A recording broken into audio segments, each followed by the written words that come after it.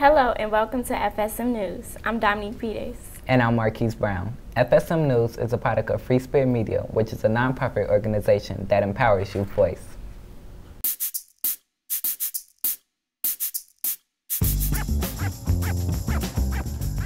Free Spirit Media, in partnership with the Gary Comer Youth Center, After School Matters, and the Medill School of Journalism, present FSM News. Welcome to FSM News.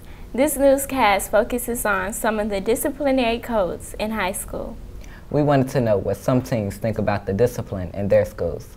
For example, how would you feel if a teacher was to go through your personal belongings without your permission? I would feel so violated. Yeah, I agree. Take a look at this story reported by FSM's Rosie Martin, who tells us how some teens feel about privacy in their schools. Has there ever been a time when you felt like your privacy has been violated? Recently, Vanetta Sims, a student, was part of a random search at her school. Went through my book bag, my purse, and lockers. Gary Comer College Prep has a policy on student safety. So it's one of the actual policies for all of the schools um, that they do random searches as opposed to um, metal detectors or other alternatives. Linda Mendez may not enjoy doing searches, but she feels it is a good way to ensure safety for the students. No one likes to go through someone else's stuff, but I do understand why we do them and because of that, I feel obligated to do them. Vanetta Sims may not like the approach to searches, but she knows it helps keep things safe. Because we, don't, we have no metal detectors here, so they're probably trying to make sure nobody brings anything like a weapon to school. Random searches can be a good way to keep the students safe while still letting them have some privacy. I think it's okay if they like let us know instead of just barging in the classroom and throwing your stuff around. But I think they should just to keep us safe here at school. Privacy in this case is violated for a purpose, to make students feel safe in school. But where do we draw the line? Is there another way to protect students without violating their privacy? For now, random searches seem to be the best method to keep students away from danger. Thanks for watching our newscast. We hope you're enjoying the show so far. And for those who wear school uniforms, we want to know whether or not they interfere with your personal style. Some teens voice how they feel about school uniforms. We'll have that story up next. Welcome back. Dominique, do you like wearing your school uniform or would you rather pick out a new outfit each day? I just wish we had more freedom in choosing what we wear. Yeah, so we can wear our stripes like we did today. Yeah. FSM Sierra Newman has more on how teens feel about school uniforms. At Gary Comer College Prep, some students feel that wearing uniform is unattractive. I don't like it because I gotta look like everybody else, and that's not cute. On the other hand, some students feel that wearing a uniform makes them look more professional. Good thing about wearing a uniform is like you get respected from teachers. But on a normal day, most students would just like to be themselves. I wear to school like some jogging pants and a, a t-shirt all day because I like to be comfortable. For FSM News, I'm Sierra Newman.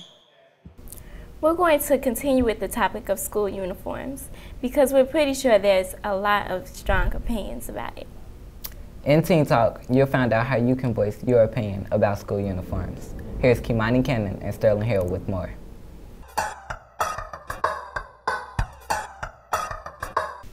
Hi, I'm Kimani Cannon. And I'm Sterling Hill. And, and this, this, is Teen Talk. Talk. And this week we'll be talking about school discipline, mainly uniforms and dress codes.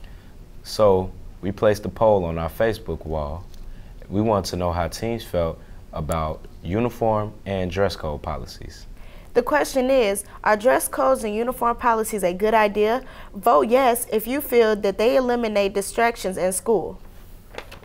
Or vote no if you think uniforms unconstitutionally limit students' freedom of expression.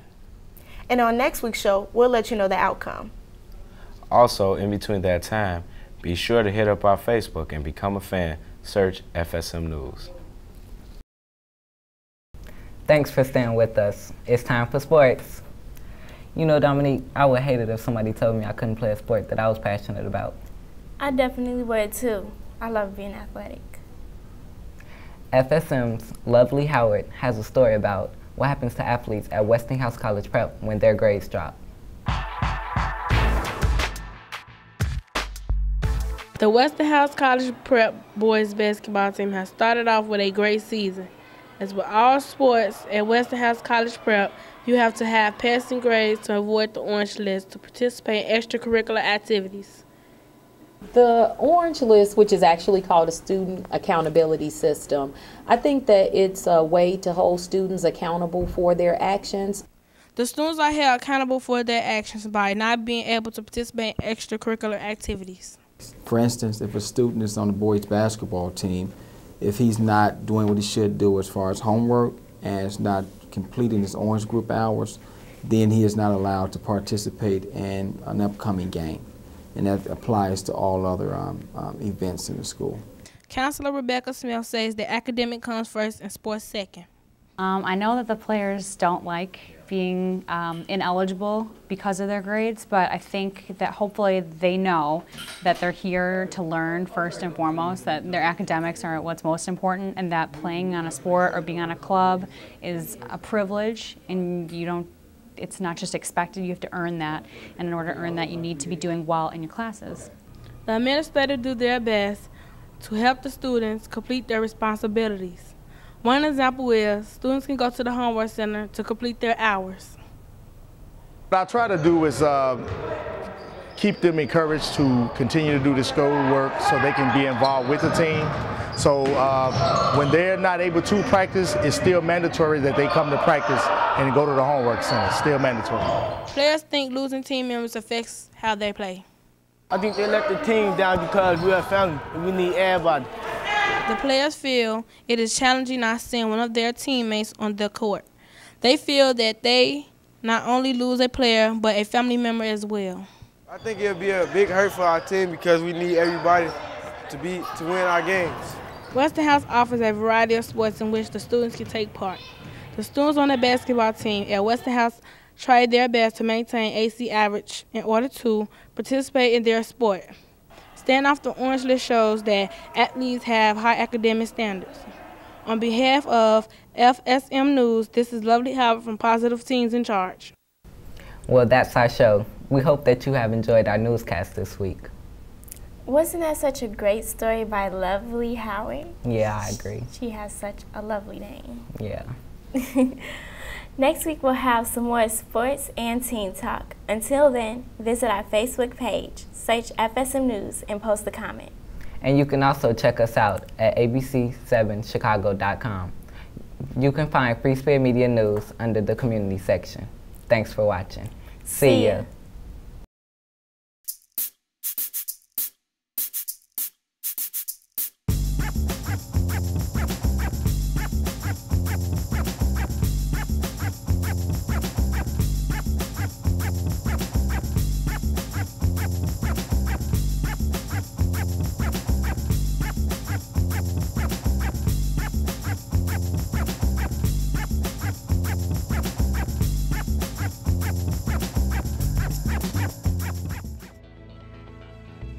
Free Spirit Media partners with schools and organizations to provide education, access, and opportunity in media production to underserved urban youth. Through hands-on production of their own media content, participants build life skills in communication, critical and independent thinking, teamwork, and the use of technology. Believing that youth perspectives are a critical element of American culture, Free Spirit Media actively distributes student work to a range of audiences.